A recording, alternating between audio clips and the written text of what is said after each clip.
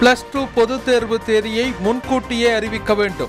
தேர்வுக்கு சிறப்பாக தயாராக உதவியாக இருக்கும் என அரசுக்கு மாணவர்கள் கோரிக்கை.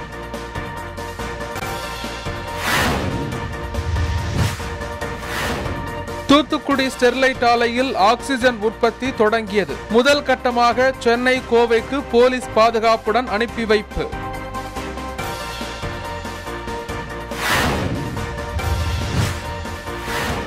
நோயாளிகளுடன் ஆம்புலன்ஸ்களை மருத்துவமனைகளுக்கு வெளியே நிறுத்தி வைக்க கூடாது. தமிழக அரசுக்கு சென்னை உயர்நீதிமன்றம் உத்தரவு.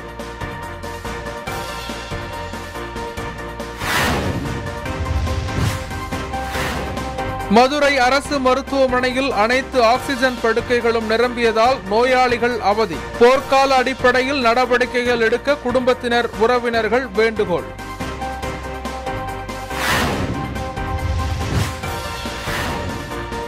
தென்கிழக்கு அரபிக்கடலில் புதிய காற்றழுத்த தாழ்வு பகுதி. நான்கு நாட்களுக்கு தமிழகம் கேரளாவில் கனமழைக்கு வாய்ப்பு என வானிலை மையம் தகவல்.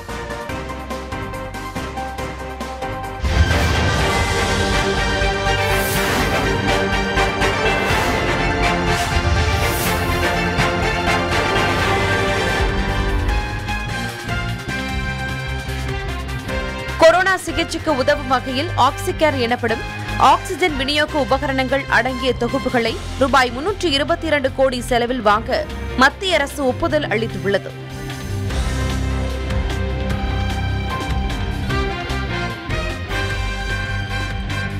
கொரோனா பாதிப்பு அதிகமுள்ள மாவட்டங்களில் ஆறு முதல் எட்டு வாரங்களுக்கு தளர்வில்லா முழு ஊரடங்கை அமல்படுத்த வேண்டும் என இந்திய மருத்துவ ஆராய்ச்சி கவுன்சில் தெரிவித்துள்ளது.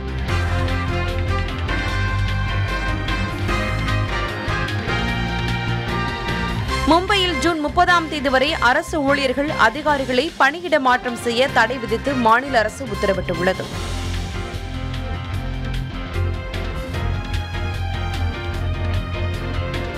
பாலஸ்தீனம் மீதான தங்களுடைய தாக்குதலை அதிகரிக்கப் போவதாக இஸ்ரேல் பிரதமர் நெத்தன்யாகு அறிவித்துள்ளார்.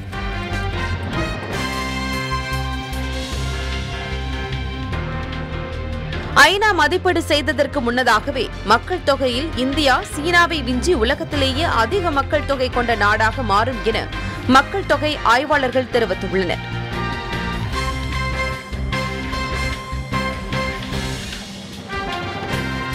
இந்தியாவில் சீன நிறுவனங்களுக்கு ஃபைவ் ஜி தொழில்நுட்ப பரிசோதனை செய்ய அனுமதி வழங்கப்படாதது அந்நாட்டின் இறையாண்மை அடிப்படையில் எடுக்கப்பட்ட முடிவு என அமெரிக்கா தெரிவித்துள்ளது.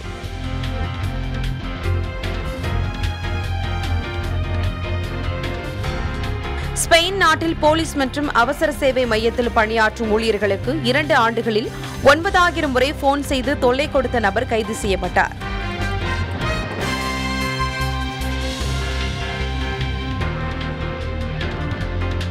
ஈரானின் அணு ஆயுத திட்டத்தை உருவாக்கி மேற்கத்திய நாடுகளுக்கு சவாலாக முன்னாள் அதிபர் மஹமுத் அகமதி மீண்டும் அதிபர் தேர்தலில் போட்டியிடுகிறார்.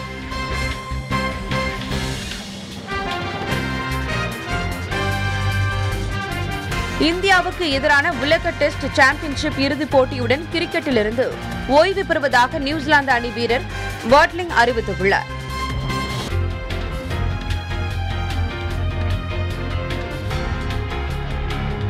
அடுத்த மாதம் நடைபெறவிருந்த சிங்கப்பூர் ஓபன் பேட்மிண்டன் போட்டி ரத்து செய்யப்பட்டுள்ளதால் இந்திய வீரர்கள் சாய்னா ஸ்ரீகாந்த் ஆகியோரின் ஒலிம்பிக் கனவு தகர்ந்துள்ளது.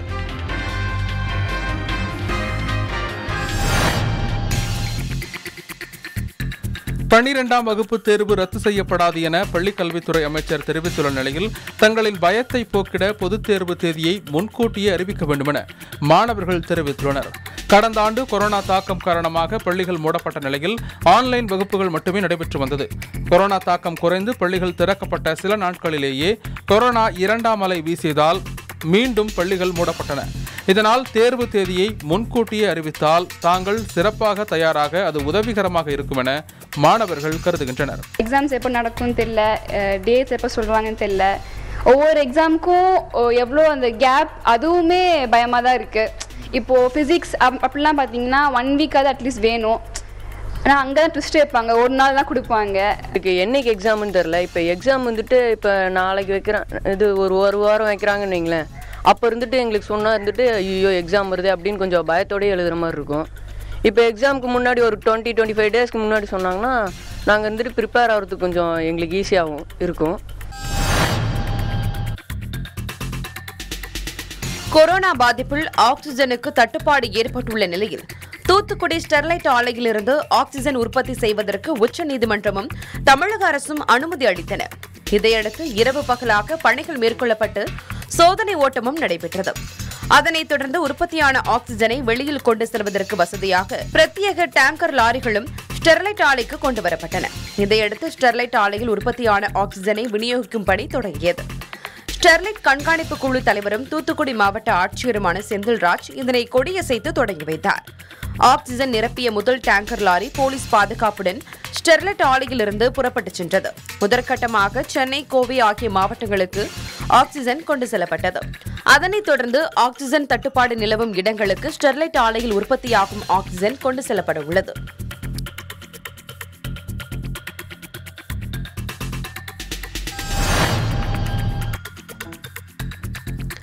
தமிழகத்தில் கொரோனா இரண்டாவது அலை மிகப்பெரிய அளவில் பாதிப்பை ஏற்படுத்தி வருவதால் படுக்கைகள் கிடைக்காத இடங்களிலிருந்து ஏராளமானோர் சென்னை ராஜீவ்காந்தி அரசு மருத்துவமனை நோக்கி ஆம்புலன்ஸில் வருகின்றனர். அவ்வாறு வந்தவர்களில் இருபத்தைந்து பேர் ஆம்புலன்ஸிலேயே சுமார் நான்கு மணி நேரம் காத்து கிடக்கும் சூழலுக்கு ஆளாகினர். இதேபோல செங்கல்பட்டு திருவள்ளூர் உள்ளிட்ட பகுதிகளிலும் பலருக்கு ஆம்புலன்ஸிலேயே சிகிச்சை அளிக்கப்பட்டது. இந்நிலையில் கொரோனா பாதித்தவர்களுடன் ஆம்புலன்ஸ்களை மருத்துவமனைகளுக்கு வெளியில் நிறுத்தி வைக்கக்கூடாது என்று தமிழக அரசுக்கு சென்னை உயர்நீதிமன்றம் உத்தரவிட்டுள்ளது. மேலும் மருத்துவமனைகளில் தற்காலிக படுக்கைகளாக ஸ்ட்ரெச்சர்களை படுக்கைகளாக பயன்படுத்தலாம் என்றும் மூடப்பட்ட செயல்பாட்டில் இல்லாத மருத்துவமனைகளை தற்காலிகமாக சிகிச்சைக்கு பயன்படுத்துவது குறித்து ஆராய வேண்டும் எனவும் சென்னை உயர்நீதிமன்றம் தெரிவித்துள்ளது.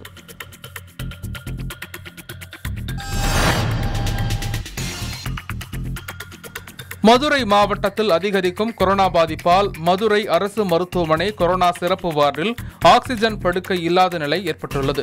மதுரை அரசு மருத்துவமனை கொரோனா சிறப்பு வார்டில் ஆயிரத்து ஐநூற்று அறுபத்தி ஒரு படுக்கைகள் உள்ள நிலையில் ஆயிரத்து நானூற்று இருபது படுக்கைகள் நிரம்பியுள்ளன. குணமடைந்து வீடு திரும்புபவர்களின் எண்ணிக்கையை பொறுத்து புதிதாக வருபவர்களுக்கு படுக்கை ஒதுக்கப்பட்டு வருகிறது. அதேபோல மதுரை அரசு மருத்துவமனையில் ஆயிரத்து நூற்று ஐம்பது ஆக்சிஜன் படுக்கை வசதிகள் உள்ள நிலையில் அவை அனைத்தும் நிரம்பியுள்ளன. இதனால் ஆக்சிஜன் தேவையுடன் சிகிச்சை பெற வருபவர்கள் சிகிச்சை பெற முடியாமல் தவிக்கும் நிலை ஏற்பட்டுள்ளது. இந்த நிலையில் ஆக்சிஜன் படுக்கை வசதியை அதிகப்படுத்தும் விதமாக கொரோனா சிறப்பு வார்டில் முன்னூறு ஆக்சிஜன் படுக்கைகள் தயார் செய்யப்பட்டு வருகிறது. கொரோனா சிகிச்சை அளிக்கும் பெரும்பாலான தனியார் மருத்துவமனைகளில் படுக்கை வசதி மற்றும் ஆக்சிஜன் பற்றாக்குறை ஏற்பட்டுள்ளது.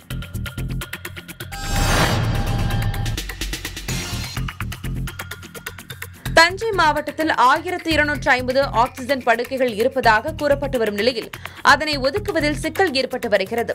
அவசர சிகிச்சைக்காக ஆக்சிஜன் உதவியுடன் ஆம்புலன்ஸில் வரக்கூடியவர்கள் படுக்கையை கிடைக்கும் வரை ஆம்புலன்ஸிலேயே சில மணி நேரம் காத்திருக்க வேண்டிய நிலை ஏற்பட்டுள்ளது. இந்நிலையில் தஞ்சை மாவட்டத்தில் மேலும் நூற்றி எழுபத்தைந்து ஆக்சிஜனுடன் கூடிய படுக்கை வசதிகள் இன்னும் இரண்டு நாட்களில் தயார் நிலையில் இருக்கும் என மாவட்ட நிர்வாகம் தெரிவித்துள்ளது.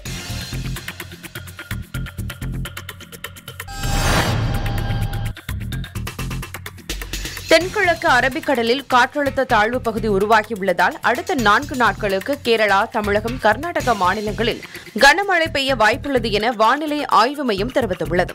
இந்திய வானிலை ஆய்வு மையம் வெளியிட்டுள்ள செய்திக்குறிப்பில் தென்கிழக்கு அரபிக்கடல் லட்சத்தீவு மாலத்தீவு பகுதியில் புதிய காற்றழுத்த தாழ்வு பகுதி உருவாகியுள்ளதால் குறைந்த காற்றழுத்த தாழ்வு பகுதி காரணமாக நான்கு நாட்களுக்கு கேரளம் தமிழகம் கர்நாடக மாநிலங்களில் கனமழை பெய்ய வாய்ப்புள்ளதாகவும் இந்த காற்றழுத்த தாழ்வு பகுதி புயலாக மாற வாய்ப்புள்ளதாகவும் தெரிவிக்கப்பட்டுள்ளது.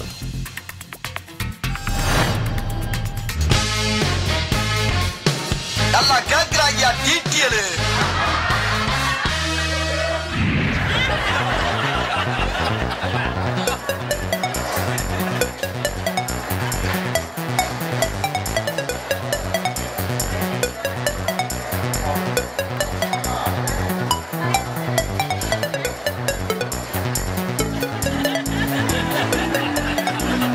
கிரிக்கெட்லாம் எனக்கு அதை பற்றியே தெரியாது. அது வந்து லண்டன்மா? வெளிநாட்டில். அது தெரியாது. நாடு பேர் வந்து டெல்லி. சுவிட்சர்லாந்து. கிரிக்கெட் வந்து எனக்கு தெரிஞ்ச வரைக்கும் அது ரெண்டாம் அது அதை பற்றி நான் எதுவுமே சொல்ல விரும்பலை.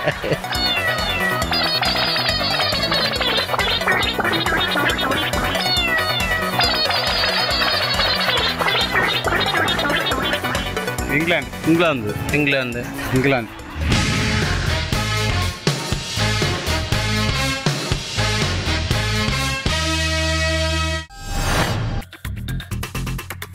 தொலைக்காட்சியில் வரும் பக்தி பாடல் ஒன்றினை நெல்லை மாவட்டம் திசையன்விளையைச் சேர்ந்த ஐந்து வயது சுட்டி பையன் மாதேஷ் மனம் உருக பாடுவது வைரலாகி வருகிறது.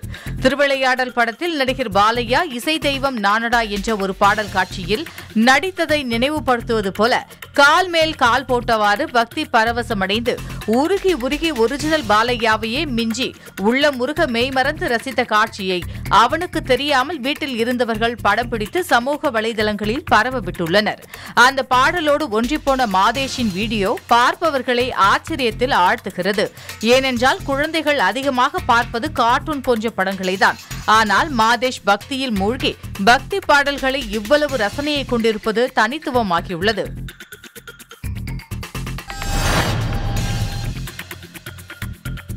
திருப்பத்தூர் மாவட்டம் வாணியம்பாடி தமிழக ஆந்திர எல்லை சோதனை சாவடி அருகே அமைந்துள்ள சிறு கிராமம்தான் அண்ணா நகர். இந்த கிராமத்தில் விதை பறவைகள் என்ற குழுவை ஆரம்பித்து அங்கன்வாடி முதல் கல்லூரி வரையிலான மாணவர்கள் ஒன்றிணைந்து விடுமுறை நாட்களை பயன்படுத்தி வனத்தை காப்பதற்காக பிஞ்சு கைகளால் விதைப்பந்துகள் தயார் செய்து வருகின்றனர்.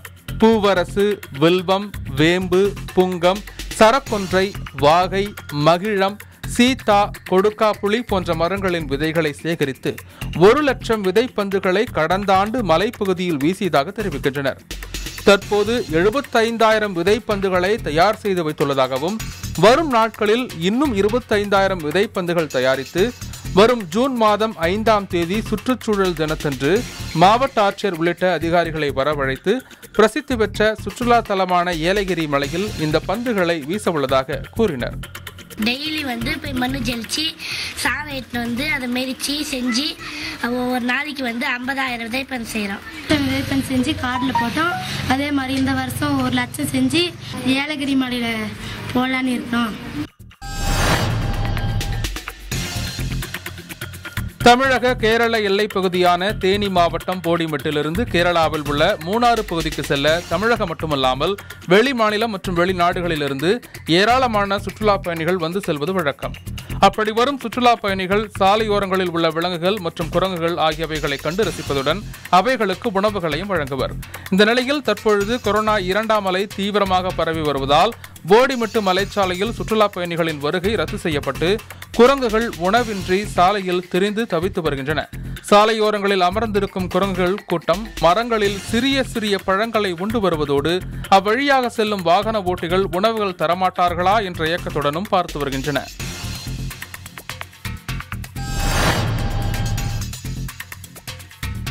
திண்டுக்கல் மாவட்டத்தில் முழு ஊரடங்கு அமல்படுத்தப்பட்டுள்ளதாலும் சந்தைகளில் சிறுமலை வாழைப்பழ வரத்து அதிகரித்து காணப்பட்டது. எனினும் வெளியூர் வியாபாரிகள் வராத காரணத்தால் விலை கடுமையாக வீழ்ச்சி அடைந்துள்ளது. ஒரே நாளில் ஐம்பதாயிரம் வாழைக்காய்கள் விற்பனைக்கு குவிக்கப்பட்டது. திண்டுக்கல் சந்தையில் ஐநூறு வாழைக்காய் ரூபாய் ஆயிரத்து ஐநூறு முதல் இரண்டாயிரம் வரை மட்டுமே விற்பனையாகி விலை சரிந்தது. இதனால் சிறுமலை வாழை விவசாயிகளுக்கு பெரும் நஷ்டம் ஏற்பட்டுள்ளது. முழு ஊரடங்கு முடிந்தால் மட்டுமே மீண்டும் சிறுமலை வாழைக்கு நல்ல விலை கிடைக்கும் என வியாபாரிகள் எதிர்பார்ப்பில் உள்ளனர்.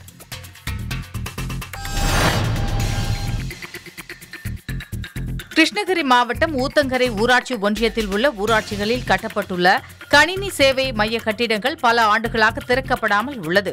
குறிப்பாக சந்திரப்பட்டி ஊராட்சியில் இரண்டாயிரத்தி பதினாறாம் ஆண்டு நிதியாண்டில் பதிமூன்று லட்சம் ரூபாய் செலவில் கட்டி முடிக்கப்பட்டு இன்று வரை திறக்கப்படாமல் உள்ளது. கிராம மக்கள் தங்கள் தேவைகளை தங்கள் பகுதிகளிலேயே நிறைவேற்றிக் கொள்ளும் வண்ணம் பட்டா சிட்டா நிலம் தொடர்பான ஆவணங்கள் வருவாய்த்துறை பிறப்பு மற்றும் இறப்பு சான்றிதழ்கள் மற்றும் பல்வேறு அரசு துறை தொடர்பான ஆவணங்கள் கணினி மூலமாக விண்ணப்பித்து விரைந்து பெற்றுக்கொள்ள பயன்பெறும் வகையில் இந்த கட்டிடங்கள் கட்டப்பட்டன. தமிழக அரசின் ஊரக வளர்ச்சித் துறையில் மகாத்மா காந்தி வேலை உறுதி அளிப்பு திட்டத்தின் கீழ் கட்டப்பட்டுள்ள இந்த கட்டிடங்களை புதிதாக பொறுப்பேற்றுள்ள அரசு உடனடியாக திறந்து வைத்து பொதுமக்கள் பயன்பாட்டிற்கு விட வேண்டும் என கோரிக்கை விடுக்கப்பட்டுள்ளது.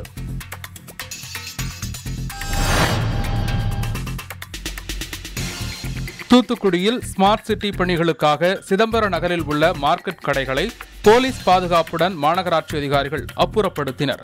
இப்பகுதியில் மாநகராட்சிக்கு சொந்தமான இடத்தில் ஹோட்டல் மீன் மற்றும் இறைச்சி கடை மண்பானை கடை என அறுபதுக்கும் மேற்பட்ட கடைகள் இயங்கி வந்தன. இந்த இடத்தில் தற்போது மாநகராட்சி மூலம் புதிதாக ஸ்மார்ட் சிட்டி திட்டத்தின் கீழ் வணிக வளாகம் கட்டப்பட உள்ளது. இதற்கான டெண்டர் விடப்பட்டு பணிகள் தொடங்கப்பட உள்ளன.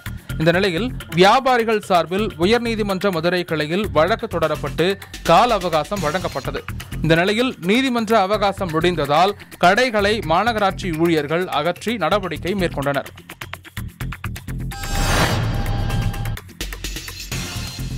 விழுப்புரம் மாவட்டம் முண்டியம்பாக்கம் அரசு மருத்துவக் கல்லூரி மருத்துவமனையில் சாதாரண படுக்கைகள் நூறில் நாற்பத்தாறும் ஆக்ஸிஜன் படுக்கைகள் இருநூற்றி எண்பதில் ஐந்தும் காலியாக உள்ளன.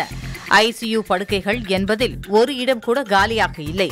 இந்த நிலையில் தொற்று பாதிக்கப்படும் நோயாளிகளுக்கு சிகிச்சை அளிப்பது குறித்து விழுப்புரம் மாவட்ட ஆட்சியர் அலுவலகத்தில் உயர்கல்வித்துறை அமைச்சர் பொன்முடி சிறுபான்மையினர் நலத்துறை அமைச்சர் செஞ்சி மஸ்தான் மாவட்ட ஆட்சியர் அண்ணாதுரை மற்றும் காவல்துறை வருவாய்த்துறை அதிகாரிகளுடன் ஆலோசனை நடைபெற்றது.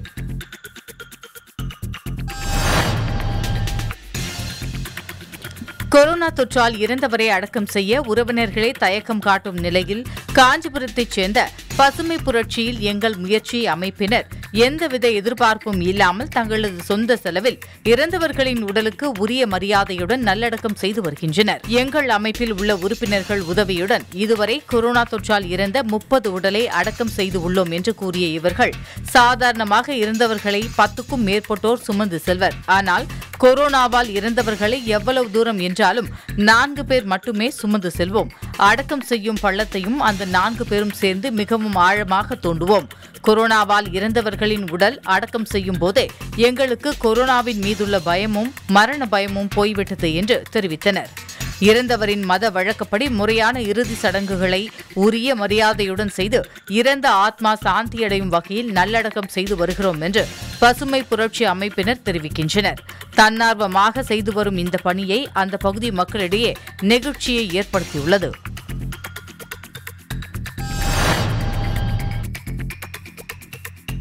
கரூர் மாவட்டத்தில் எட்டு இடங்களில் ஆக்ஸிஜன் கான்சென்ட்ரேட்டருடன் கூடிய தலா நாற்பது படுக்கைகள் கொண்ட கொரோனா சிகிச்சை மையங்கள் அமைக்கப்பட்டு வருவதாகவும் இதனால் ஆக்ஸிஜன் தட்டுப்பாடு இல்லாமல் சிகிச்சை அளிக்க முடியும் எனவும் மின்சாரத்துறை அமைச்சர் செந்தில் பாலாஜி கூறினார்.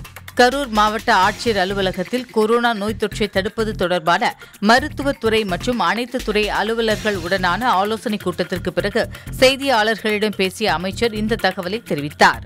இந்த கூட்டத்தில் கரூர் எம்பி ஜோதிமணி உள்ளிட்டோர் கலந்து கொண்டனர்.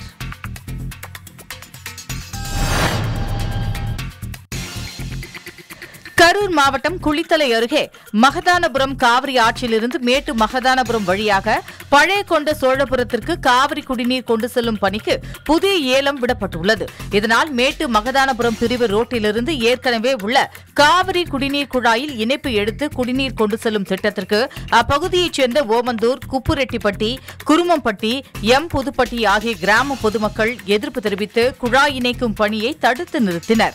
இதுகுறித்து கருத்து கூறிய அந்த பகுதி மக்கள் தேர்தலுக்கு முன்பும் தேர்தல் நேரங்களிலும் இருமுறை இதேபோன்று குடிநீர் குழாய் இணைக்கும் பணி செய்தபோது தடுத்து நிறுத்தினோம் என்றும் அப்போது குடிநீர் குழாய் தொடர்பாக குழி தோண்ட மாட்டோம் என கூறி சென்றவர்கள் மீண்டும் பணி துவங்கியுள்ளனர் என்பது அதிர்ச்சியை ஏற்படுத்தியுள்ளதாக குற்றம் சாட்டினர்.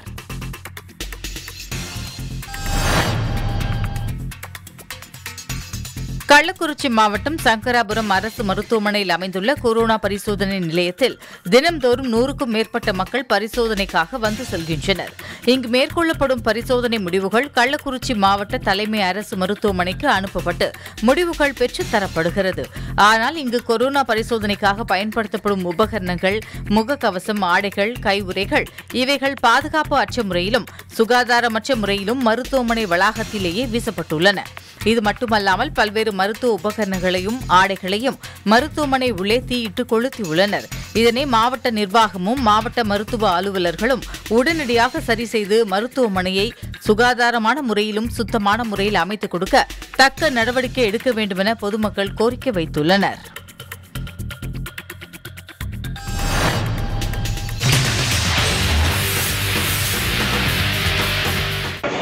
மாஸ்க் அதிகமாக போட்டுக்கணும்.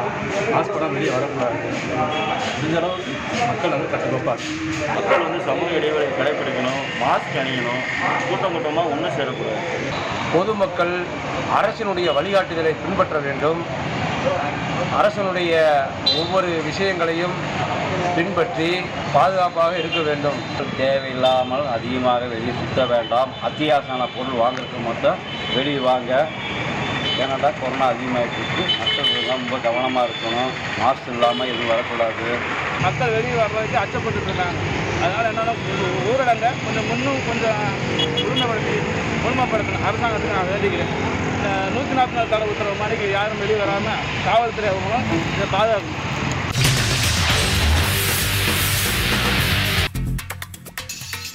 தேனி மாவட்டம் கம்பம் பள்ளத்தாக்கில் வாரந்தோறும் வெள்ளி முதல் ஞாயிறு வரை திராட்சை அறுவடை செய்வது நிறுத்தப்பட்டுள்ளது. கொரோனா முழு ஊரடங்கு காரணமாக பனிரெண்டு மணி வரை மட்டுமே பழக்கடைகள் திறக்கப்பட்டு உள்ளதால் வியாபாரம் குறைவாக நடைபெறுகிறது. இதனால் திராட்சை அறுவடை நிறுத்தப்பட்டு உள்ளதாக தெரிவிக்கும் விவசாயிகள் ஏற்கனவே அறுவடை செய்தவற்றை உடனடியாக விற்காவிட்டால் நஷ்டம் ஏற்படும் என வருத்தம் தெரிவிக்கின்றனர்.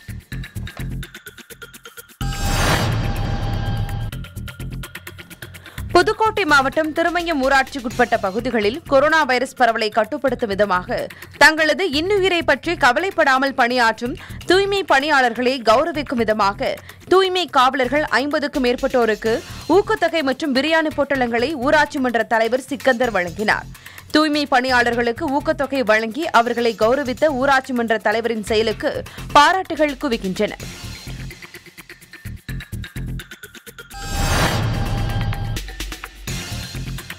நீலகிரி மாவட்டம் கூடலூர் அருகே உள்ள கரியசோலை அரசு தேயிலை தோட்டத்தில் பணிபுரிந்தவர் பூங்கொடி.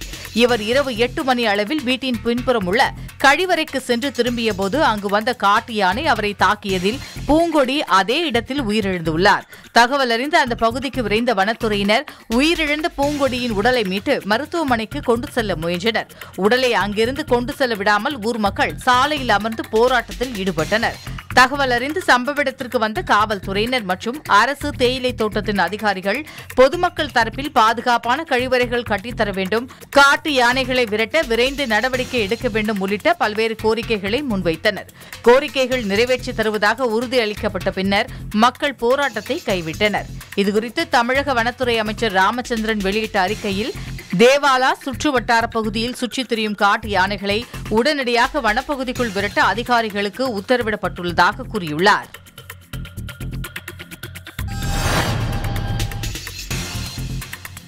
ஓசூரில் முழு பொது முடக்க காலத்திலும் அதிக அளவில் சாலைகளில் மக்கள் நடமாட்டம் உள்ளதாக புகார் எழுந்துள்ளது.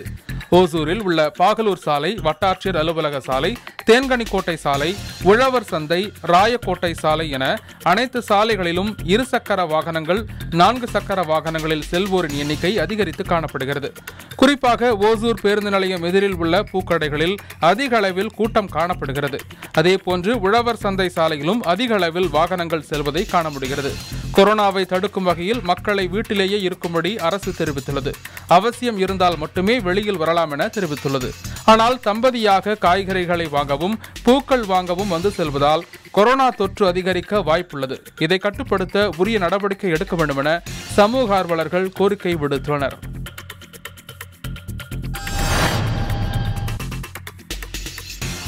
சிவகங்கை மாவட்டம் காரைக்குடி கண்ணதாசன் மணிமண்டபத்தில் ஊரடங்கு கால அவசர நிலை இரத்த தான முகாம் நடைபெற்றது. காரைக்குடி அரசு மருத்துவமனையின் சார்பில் நடைபெற்ற இந்த இரத்த தான முகாமில் தேவக்கோட்டை கோட்டாட்சியர் சுரேந்திரன் பங்கேற்று முகாமை தொடங்கி வைத்தார். இதில் ஏராளமான சமூக ஆர்வலர்கள் இளைஞர்கள் மாணவ மாணவிகள் பங்கேற்று இரத்த தானம் செய்தனர். இரத்த தானத்தில் பங்கேற்றவர்களுக்கு காரைக்குடி அரசு மருத்துவமனை மருத்துவர்கள் இரத்த மாதிரி பரிசோதனை சர்க்கரை உப்பு நீர் உட்பட பல்வேறு பரிசோதனைகளை இலவசமாக செய்தனர்.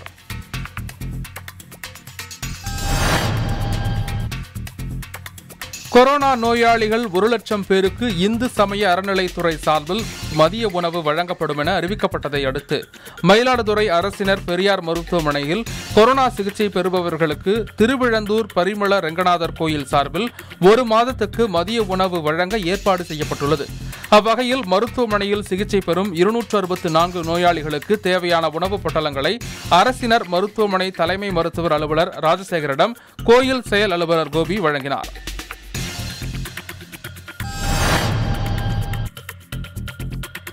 கடலூர் சிப்காட் பகுதியில் உள்ள பூச்சிக்கொல்லி மருந்து தயாரிக்கும் தனியார் தொழிற்சாலையில் காலை திடீரென பாய்லர் வெடித்ததில் பணியில் இருந்த நான்கு பேர் உயிரிழந்தனர். பதிமூன்று பேர் கடலூர் அரசு மருத்துவமனையில் சிகிச்சைக்காக அனுமதிக்கப்பட்டுள்ளனர். விபத்துக்கு தொழிற்சாலை நிர்வாகத்தின் அலட்சியம்தான் காரணம் என பாதிக்கப்பட்டவர்களின் உறவினர்களும் சுற்றுவட்டார கிராம மக்களும் தொழிற்சாலையை முற்றுகையிட்டு போராட்டத்தில் ஈடுபட்டனர். சம்பவ இடத்திற்கு வந்த கடலூர் மாவட்ட எஸ்பி ஸ்ரீ அபினவ் தலைமையில் போலீசார் போராட்டக்காரர்களை அமைதிப்படுத்தி அங்கிருந்து கலையச் செய்தனர். விபத்து நடந்தபோது தொழிற்சாலையில் இருந்த அனைவரும் மீட்கப்பட்டு விட்டனரா என தீயணைப்புத் துறையினரும் காவல்துறையினரும் ட்ரோன் கேமரா மூலம் கண்காணித்தனர்.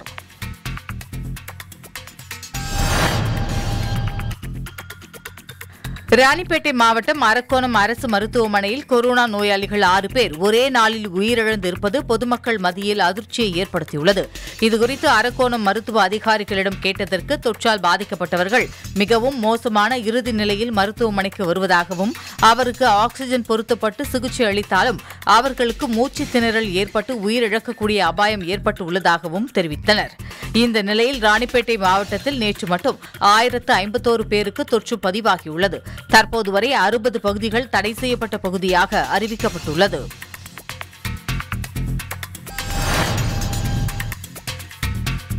சென்னை குரோம்பேட்டை அடுத்த நாகல்கேணி சுடுகாட்டில் கொரோனாவால் உயிரிழந்த ஒருவரின் உடலை அடக்கம் செய்வதற்கு எடுத்து சென்றனர். அப்போது ஏற்கனவே பத்து உடல்கள் அடக்கம் செய்ய வேண்டி இருப்பதாக பணியில் இருப்பவர்கள் தெரிவித்தனர். புதைக்கும் வசதி மட்டும் கொண்ட நாகல்கேணி சுடுகாட்டில் கொரோனாவால் பாதிக்கப்பட்டு உயிரிழந்தவர்களை அடக்கம் செய்ய நாற்பத்தி எட்டு மணி நேரம் ஆவதாக உறவினர்கள் வேதனை தெரிவித்தனர். இதற்கு உடனடியாக துறை சார்ந்த அதிகாரிகள் நடவடிக்கை எடுக்க கோரிக்கை எழுந்துள்ளது.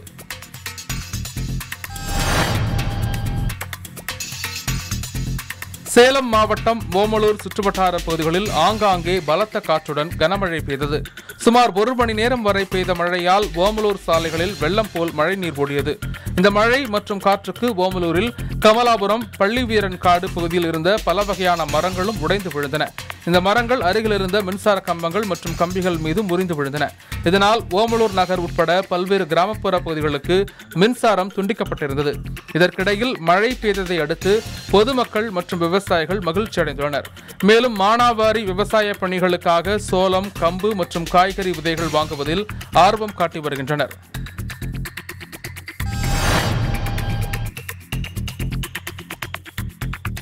மயிலாடுதுறை மாவட்டம் சீர்காழி வைத்தீஸ்வரன் கோயில் தென்பாதி சட்டநாதபுரம் உள்ளிட்ட பல்வேறு பகுதிகளில் சுமார் ஒரு மணி நேரத்திற்கு மேலாக மழை பெய்தது.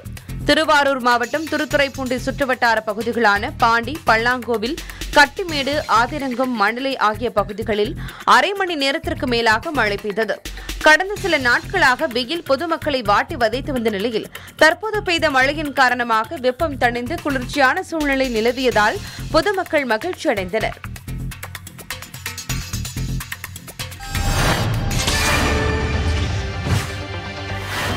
கொரோனாவால் அப்பாவி மக்கள் கொத்து கொத்தாக உயிரிழந்து வரும் நிலையில் இதிலிருந்து தங்களையும் நாட்டு மக்களையும் காக்க வேண்டி திருப்பத்தூர் மாவட்டம் ஆம்பூர் மிட்டாளம் ஊராட்சி பைரவப்பள்ளி பொன்னப்பள்ளி உள்ளிட்ட கிராமங்களில் வழிபாடுகள் நடத்தப்பட்டன. இந்த கிராமங்களில் வீட்டு வாசல்களில் மூன்று விளக்குகளை ஏற்றி கிராம மக்கள் மற்றும் பெண்கள் வழிபாடு செய்தனர்.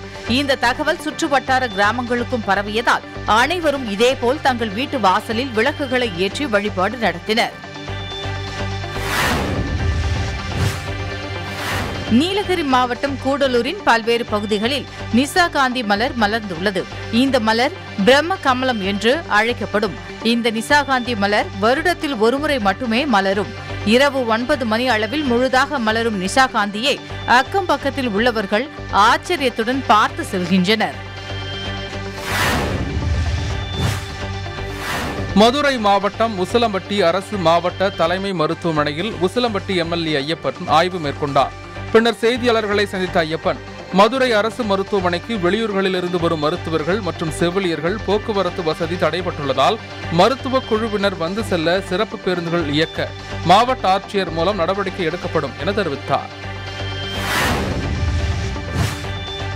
ஈரோடு மாவட்டம் தாளவாடி கிராம ஊராட்சியில் பணிபுரியும் நாற்பது தூய்மை பணியாளர்களுக்கு தாளவாடி இருசக்கர வாகன பழுதுபார்ப்போர் நலச்சங்கம் சார்பில் அரிசி பருப்பு மற்றும் மளிகை பொருட்கள் உட்பட கொரோனா நிவாரணப் பொருட்கள் வழங்கும் நிகழ்ச்சி நடைபெற்றது. நிகழ்ச்சியில் தாளவாடி வருவாய்த்துறை அதிகாரிகள் மற்றும் காவல்துறை அதிகாரிகள் கலந்து கொண்டு தூய்மை பணியாளர்களுக்கு நிவாரணப் பொருட்களை வழங்கினர்.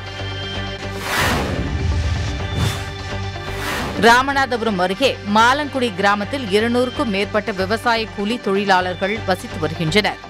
இந்த நிலையில் கிராமத்தில் உள்ள ஐந்து பெண்கள் உள்ளிட்ட ஆறு நபர்களுக்கு கொரோனா தொற்று உறுதி செய்யப்பட்டுள்ளது. இதையடுத்து ஊராட்சி நிர்வாகத்தின் சார்பில் மாலங்குடி கிராமம் முழுவதும் ப்ளீச்சிங் பவுடர் போட்டும் கிருமி நாசினிகள் தெளித்தும் சுகாதார பணிகளில் ஈடுபட்டுள்ளனர். அரியலூர் நகராட்சியில் பதினெட்டு வார்டுகளில் நூற்றி இருபதுக்கும் மேற்பட்ட தற்காலிக தூய்மை பணியாளர்கள் பணியாற்றி வருகின்றனர். ஒப்பந்த அடிப்படையில் பணியாற்றும் இவர்களுக்கு பதிமூன்றாம் தேதி ஆன நிலையிலும் சம்பளம் வழங்கப்படவில்லை என குற்றம் சாட்டி நகராட்சி அலுவலகத்தை முற்றுகையிட்டு போராட்டத்தில் ஈடுபட்டனர்.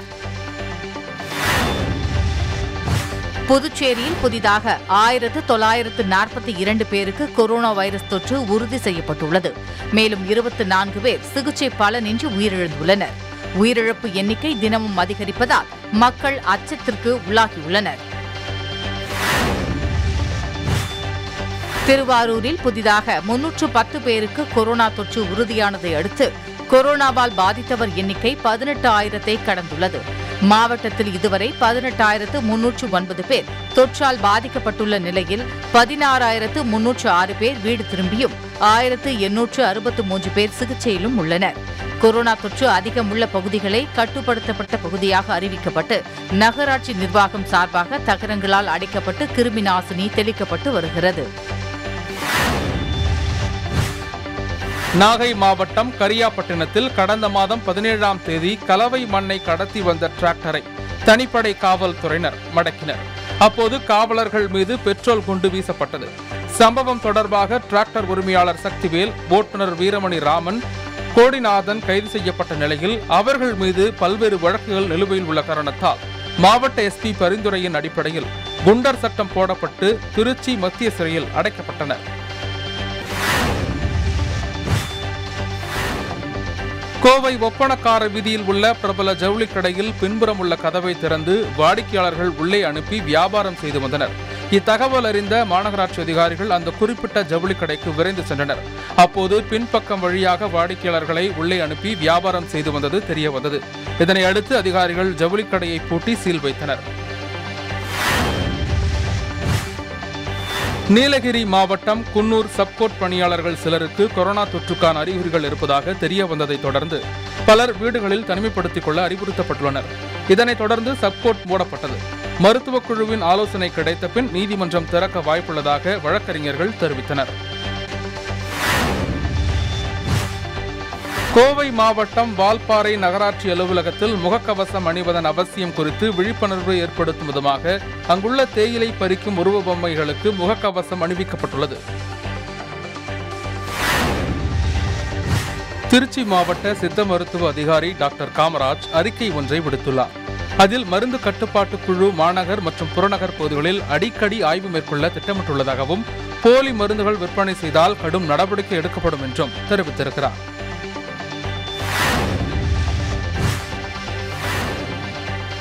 புதுக்கோட்டை பொன்னகரில் தடை செய்யப்பட்ட பகுதிகளில் வசிக்கும் மக்களுக்கு காய்கறி பால் உள்ளிட்ட அத்தியாவசிய பொருட்கள் முறையாக கிடைக்கின்றனவா என்பது குறித்து புதுக்கோட்டை சட்டமன்ற தொகுதி உறுப்பினர் மருத்துவர் முத்துராஜா நேரில் பார்வையிட்டு பொதுமக்களிடம் கேட்டறிந்தார். அதன் பின் கொரோனா தடுப்பூசி ஐயமுமின்றி பொதுமக்கள் எடுத்துக்கொள்ள வேண்டும் என ஒலிபெருக்கி மூலம் விழிப்புணர்வு ஏற்படுத்தினார். மயிலாடுதுறை மாவட்டம் சீர்காழி அரசு மருத்துவமனையில் கொரோனா வார்டு நிரம்பியதால் தற்காலிகமாக அரசு பாலிடெக்னிக் கல்லூரியில் கொரோனா வார்டு அமைக்கப்பட்டுள்ளது. கொரோனா கட்டுப்பாடுகள் காரணமாக பொதுமக்கள் மருத்துவமனையில் கூடுவதை தடுக்கும் பொருட்டு நகர் பகுதியில் கொரோனா தடுப்பூசி போடும் முகாம்கள் நடத்தப்பட்டு வருகின்றன. சீர்காழி புதிய பேருந்து நிலையம் முருகன் பூங்கா உள்ளிட்ட பகுதிகளில் நடைபெறும் தடுப்பூசி முகாமில் அருகில் உள்ளவர்கள் தடுப்பூசி செலுத்திக் கொண்டனர். திண்டுக்கல் கிழக்கு ரத வீதியில் செயல்பட்டு வந்த எஸ் எஸ் பார்மசி என்ற பெயரில் மெடிக்கல் ஷாப் இயங்கி வருகிறது. இங்கு வரக்கூடிய பொதுமக்கள் காய்ச்சல் இருமல் போன்ற வியாதிகளுக்கு இந்த மருந்தகத்தில் ஊசி போடுவதாக திண்டுக்கல் மாநகராட்சி அலுவலர்களுக்கு தகவல் கிடைத்தது. தகவலின் அடிப்படையில் அதிகாரிகள் மருந்தகத்தில் திடீர் சோதனை நடத்தினர். அப்போது அந்த மருந்தகத்தில் ஊசி போடப்பட்டதற்கான ஊசிகள் மருந்து பாட்டில்கள் போதை மாத்திரைகள் ஆகியவை இருப்பது கண்டுபிடிக்கப்பட்டது. தொடர்ந்து சட்டவிரோதமாக பொதுமக்களுக்கு ஊசி செலுத்திய அந்த மருந்தகத்திற்கு மாநகராட்சி அதிகாரிகள் சீல் வைத்தனர்.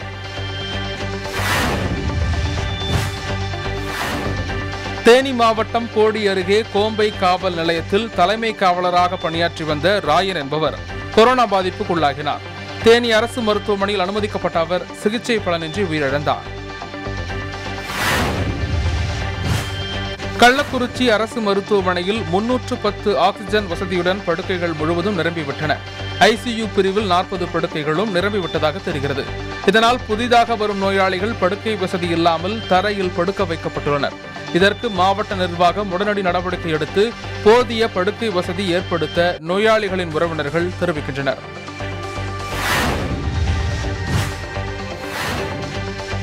திருவள்ளூர் மாவட்டம் இளாவூர் அருகே சின்ன ஓப்புழாபுரத்தில் இயங்கி வரும் தனியார் பிளைவுட் தயாரிக்கும் தொழிற்சாலையில் பல்வேறு கோரிக்கைகளை வலியுறுத்தி தொழிலாளர்கள் சங்கத்தின் சார்பில் காலவரையற்ற உள்ளிருப்பு போராட்டம் நடைபெற்று வருகிறது.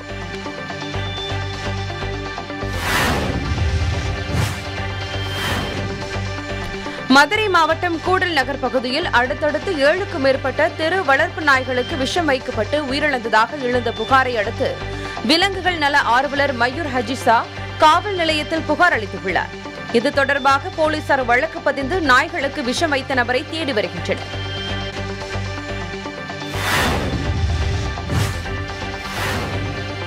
கோவை மாவட்டத்தில் பெருகி வரும் கொரோனா தொற்றால் பொள்ளாச்சி காந்தி மார்க்கெட் கடைவீதி உள்ளிட்ட பகுதிகளில் நடமாடும் கொரோனா பரிசோதனை மையங்களை சுகாதாரத்துறையினர் அமைத்துள்ளனர்.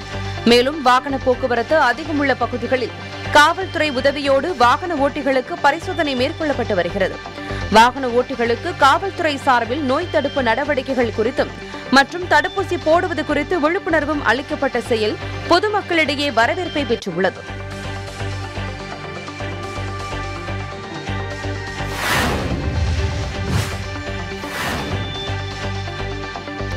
நாகை மாவட்டம் வேதாரண்யம் அகஸ்தியம்பள்ளி ஆறுகாட்டுத்துறை தோப்புத்துறை நெய்விளக்கு தேத்தாக்குடி ஆதனூர் மற்றும் சுற்றுவட்டார பகுதிகளில் பரவலாக ஒரு மணி நேரத்திற்கு மேல் மழை பெய்தது. மழையால் வெப்பம் தணிந்து குளிர்ந்த காற்று வீசியது.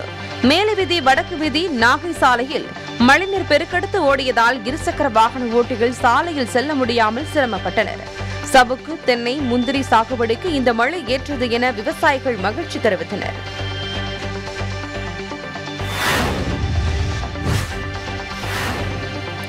சிவகங்கை மாவட்டம் காரைக்குடியில் நகராட்சி நிர்வாகம் ஆரம்ப சுகாதார நிலையம் மற்றும் தனியார் தொண்டு நிறுவனங்கள் இணைந்து தடுப்பூசி முகாமை நடத்தின காரைக்குடி எஸ் அரசு உதவி பெறும் மேல்நிலைப் பள்ளியில் முதன் முதலாக நடைபெற்ற இந்த தடுப்பூசி முகாமில் 45 வயதுக்கு மேற்பட்டவர்கள் இருநூறு பேருக்கு தடுப்பூசி போடப்பட்டது.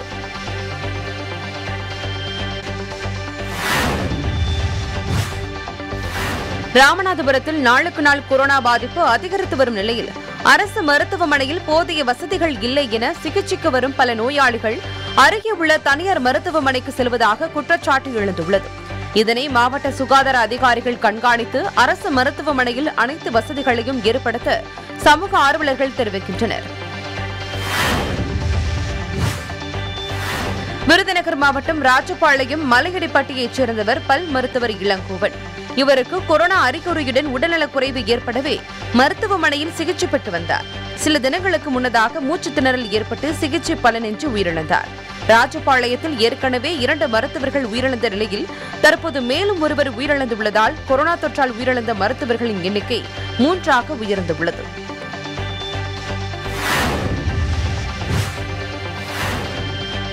காரைக்குடி சட்டமன்ற உறுப்பினர் மாங்குடி பீட்டர் ரோட்டில் உள்ள அரசு மருத்துவமனையில் ஆய்வு மேற்கொண்டார். அப்போது தலைமை மருத்துவர் தர்மரிடம் கொரோனா நோயாளிகளுக்கு வழங்கக்கூடிய உணவு சிகிச்சை முறைகளையும் போதுமான ஆக்ஸிஜன் படுக்கை வசதிகள் உள்ளதா என்பதையும் கேட்டறிந்தார்.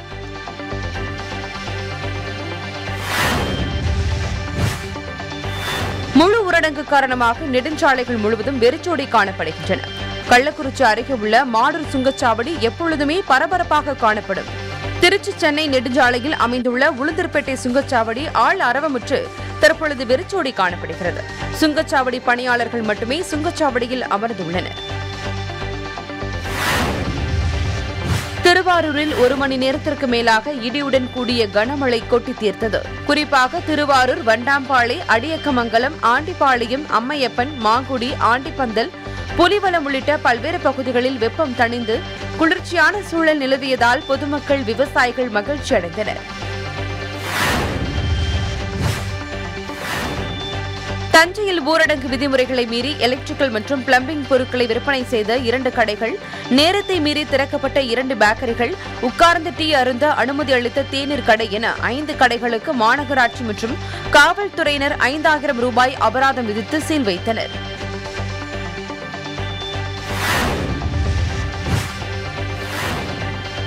கோயம்புத்தூர் மாவட்டம் வாணியம்பாடியை அடுத்த மாதக்கடப்பா மலை கிராமத்தில் எழுபத்தி நான்கு பேருக்கு பரிசோதனை செய்ததில் இருபத்தி நான்கு பேருக்கு கொரோனா நோய் தொற்று இருப்பது உறுதி செய்யப்பட்டது.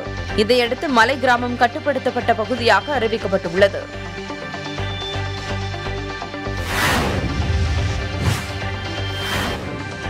திருப்பூர் மாவட்டம் தாராபுரம் நகர பகுதியில் தொன்னூறு சதவீத வணிக நிறுவனங்கள் அனைத்தும் அடைக்கப்பட்டு இருக்கும் நிலையில் ஒரு சில நிதி நிறுவனங்கள் இயங்குவதாக தாராபுரம் அதிகாரிகளுக்கு தகவல் கிடைத்தது. இதனையடுத்து அதிகாரிகள் ஆய்வு மேற்கொண்ட போது அப்போது அனுமதியின்றி செயல்பட்ட நிதி நிறுவனங்கள் உட்பட ஆறு கடைகளுக்கு அதிகாரிகள் சீல் வைத்தனர். ஆறு கடைகளுக்கு ஐம்பதாயிரம் ரூபாய் வரை அபராதம் விதிக்கப்பட்டது.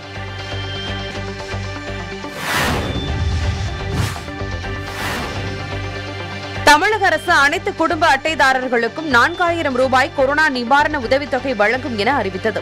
அதனைத் தொடர்ந்து அதற்கான டோக்கன் வழங்கும் பணி கடந்த மூன்று நாட்களாக நடைபெற்று வந்தது. இந்த நிலையில் பயனாளிகளுக்கு நிவாரண உதவித்தொகை வழங்கும் திட்டத்தை மாவட்ட ஆட்சியர் தொடங்கி வைத்தார். மாவட்ட ஆட்சியர் அலுவலகத்தில் நடைபெற்ற நிகழ்ச்சியில் அவர் ஐந்து பயனாளிகளுக்கு தலா இரண்டாயிரம் ரூபாய் நிவாரணத் தொகை வழங்கி திட்டத்தை தொடங்கி வைத்தார்.